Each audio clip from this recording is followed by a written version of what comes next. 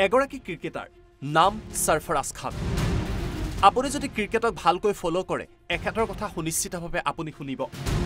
কিয়নো সৰফৰাজ খানৰ প্ৰতিভাই এতিয়া দেশবাসীক মোহিত কৰিছে। মুম্বাইৰ পৰা ৰঞ্জী খেলা সৰফৰাজ খানৰ বেটিং বিক্ৰমত সকলোৱে চেলুট জনাইছে। কিন্তু এইগৰাকী সৰফৰাজ খানক ভাৰতীয় দলত স্থান দিয়া হোৱা নাই আৰু ইয়াক লৈ সামাজিক মাধ্যমত ট্ৰেণ্ড আৰম্ভ হৈছে। যিসকলে সৰফৰাজ খানক চিনি নাপায় তেওঁলোকেও এই প্ৰতিবেদন চোৱাৰ পিছত ক'ব যে সৰফৰাজে প্ৰকৃতপক্ষে ভাৰতীয় দলত স্থান পাব লাগে। বি চি চি আইক যেন পুনৰবাৰ নিজৰ প্ৰতিভাৰে প্ৰত্যুত্তৰ দিলে সৰফৰাজ খানে। কিয়নো মঙলবাৰে সৰফৰাজ খানে পুনৰবাৰ সম্পূৰ্ণ কৰিলে শতৰাণ দিল্লীৰ বিৰুদ্ধে মুম্বাই খেলি আছিল ৰঞ্জী ট্ৰফী। এই খেলত এটা সময়ত মুম্বাই তিনিটাকৈ উইকেটৰ পতন হৈছিল। কিন্তু কঠিন সময়ত সৰফৰাজ ক্ৰিজলৈ আহিলে। আৰু তাৰ পাছত ধৈৰ্যৰে খেলি শতৰাণ কৰিলে। এইবাৰ চাওক সৰফৰাজৰ কেইটামান ইনিংছৰ তথ্য। বিগত পঁচিছটা ইনিংছত দহটাকৈ শতৰাণ কৰিছে সৰফৰাজ খানে। ইয়াৰ ভিতৰত আছে কেইবাটাও দ্বি শতক আৰু এটা ত্ৰিশতক। বিগত তিনিটা ছিজনত সৰফৰাজৰ বেটিং এভাৰেজ এশৰ ওপৰতো আছে। ক্ৰিকেটৰ ছুপাৰষ্টাৰ ছাৰ ডন ব্ৰেডমেনৰ পিছতেই প্ৰথম শ্ৰেণীৰ ক্ৰিকেটত সৰ্বাধিক এভাৰেজ হৈছে এইগৰাকী সৰফৰাজৰ কিন্তু ইমানৰ পাছতো কিয় সৰফৰাজ খানক স্থান দিয়া হোৱা নাই ভাৰতীয় ক্ৰিকেট দলত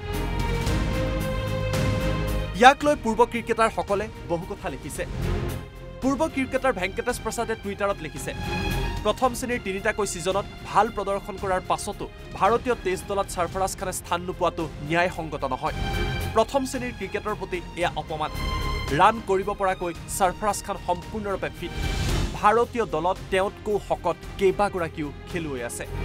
ইয়াৰ কাৰণ হৈছে কেতিয়াবা সৰফৰাজক ফিটনেছৰ কথা কৈ স্থান দিয়া হোৱা নাই আন কেতিয়াবা আকৌ আন কাৰণ দেখুওৱা হৈছে। ইয়াতেই ক্ষুণ্ণ হৈ পৰিছে ভেংকটেশ প্ৰসাদ। ইৰফান পাঠানেও টুইটাৰত লিখিছে ৰঞ্জী ট্ৰফীৰ প্ৰদৰ্শন টেষ্ট দলত স্থান পোৱাৰ বাবে প্ৰথম যোগ্যতা হ'ব লাগে। ক্ৰিকেটাৰ তথা ধাৰাভাষ্যকাৰ আকাশ চোপ্ৰাৰো টুইট টেষ্ট দলত সৰফৰাজ খানে স্থান পাব বুলি মই ভাবিছিলোঁ। স্থান পোৱাৰ বাবে সৰফৰাজে সকলো কৰিছিল। স্থান পোৱাৰ বাবে সৰফৰাজ যোগ্য। আনহাতে ধাৰাভাষ্যকাৰ হৰ্ষ ভোগলেও টুইটাৰত লিখিছে সৰফৰাজে স্থান নোপোৱাটো অতি দুখৰ কথা। প্ৰথম শ্ৰেণীৰ ক্ৰিকেটৰ প্ৰায় সকলো দুৱাৰেই ভাঙি দিলে সৰফৰাজে। ইয়াতকৈ কোনেও একো বেছি কৰিব নোৱাৰে। এইগৰাকী সৰফৰাজ খানে ধাৰাবাহিকভাৱে প্ৰদৰ্শন অব্যাহত ৰাখিছে। কিন্তু অষ্ট্ৰেলিয়াৰ বিৰুদ্ধে ভাৰতৰ টেষ্ট দলত সৰফৰাজ খানক পুনৰবাৰ বঞ্চিত কৰা হ'ল। আৰু ইয়াৰেই প্ৰত্যুত্তৰ মঙলবাৰে পুনৰ শত ৰানেৰে দিলে সৰফৰাজ খানে। সৰফৰাজ খানৰ প্ৰদৰ্শন দেখি আপ্লুত হৈ পৰিলে মুম্বাইৰ প্ৰশিক্ষক। প্ৰশিক্ষক অমল মজুমদাৰে টুপুই খেলি সৰফৰাজক এইদৰেই জনালে শুভেচ্ছা। কিন্তু এইগৰাকী সৰফৰাজ খানে ইমান কষ্টৰ পাছতো ভাৰতীয় দলত স্থান পোৱা নাই আৰু ইয়াৰ বাবে তেওঁ আৱেগিক হৈ পৰিছে। এটা সাক্ষাৎকাৰত সৰফৰাজে কৈছে মই সম্পূৰ্ণৰূপে ভাঙি পৰিছোঁ। মোৰো আৱেগ অনুভূতি আছে। মই যন্ত্ৰ নহয়। ভাৰতীয় দলত স্থান নোপোৱাৰ পিছত মই গোটেই ৰাতি শুব পৰা নাছিলোঁ। মই মনত বহুত আঘাত পাইছিলোঁ। এইদৰে বিষণ্ণ হৈ পৰাৰ পাছতো সৰফৰাজে কিন্তু ক্ৰিকেটক বাদ দিয়া নাই। ধাৰাবাহিকভাৱে প্ৰথম শ্ৰেণীৰ ক্ৰিকেটত এটাৰ পিছত আনটাকৈ অভিলেখৰ সৃষ্টি কৰিছে। আৰু বহুতেই ক'ব বিচাৰিছে বি চি চি আইৰ দুৱাৰত সৰফৰাজে টোকৰ মৰা নাই। এতিয়া হয়তো দুৱাৰ ভাঙি সৰফৰাজ খানে প্ৰৱেশ কৰিব ভাৰতীয় ক্ৰিকেট দলত।